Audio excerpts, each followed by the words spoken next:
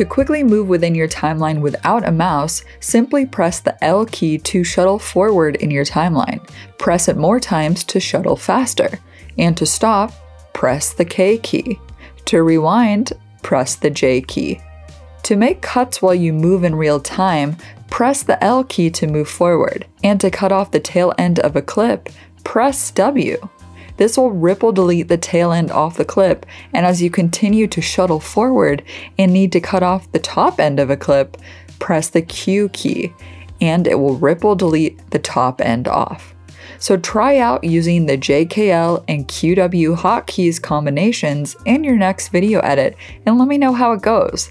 That's all there is to top tail editing in Premiere, and I'll see you next time.